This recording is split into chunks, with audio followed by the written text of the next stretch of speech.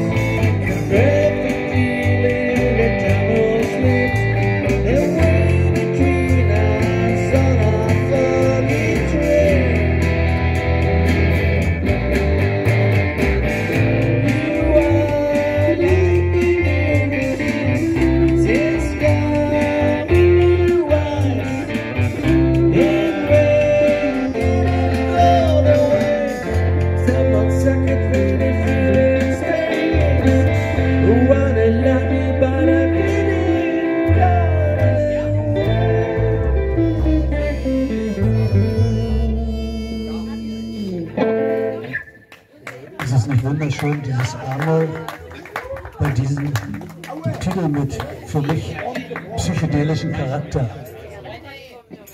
Es könnte ewig so weitergehen.